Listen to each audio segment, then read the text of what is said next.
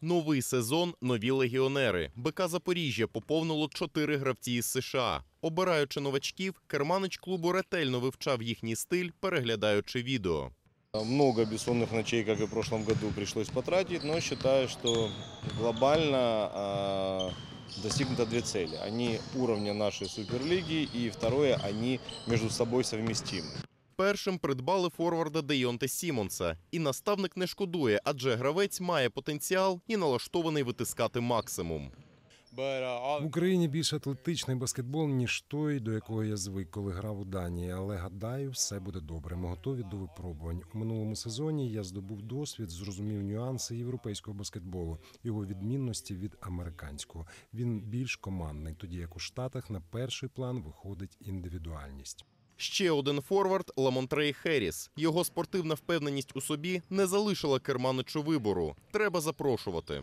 Uh, Не шкодую, що приїхав сюди. Я вперше покинув територію США. Треба трішки звикнути до місцевої культури, харчування, можливо, внести певні коригування до життя, і все вийде. Разом із ними у команді гратимуть і два захисники: Лью Столворд, якого називають душею компанії, а також Брендон Рендольф, який за підсумком перших турів Суперліги став лідером за кількістю набраних очок. Very. У команді ми намагаємось робити одне одного кращим. Для цього створюємо максимально велику інтенсивність на тренуваннях, налаштовуємося на них як на матчі. Мені тут дуже подобається. Хочу вивчити тутешню культуру та мову. Мета на сезон, як у мене, так і у команди одна це чемпіонство. Від себе робитиму все, щоб приносити колективу користь. На американських колег рівняються і українці. Надії подають Ілля Німцу, Іван Міхеєв та Яків Тітов. Зрівнятися з майстерністю легіонерів під силу досвідченому Володимиру Шевченку. У команді грає лише із січня та вже підміняє на капітанському містку наразі травмованого Андрія Мироненка.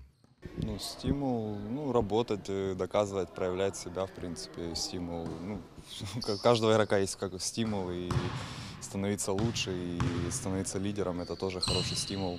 БК Запоріжжя вже провів три поєдинки в сезоні 2019-2020. Першу гру на виїзді проти одного з фаворитів Суперліги СКА Прометей підопічні Валерія Плеханова програли. Потім на рідній арені Палацу спорту Юність взяли гору над МБК Миколаїв, потівшивши публіку дальніми китками та слем-данками. Останній на цю мить поєдинок у гостях із харківськими соколами запоріжці завершили за рахунку 90-86 на свою користь. Микита Карпій, Сергій Регеда, телеканал ЗЕТ.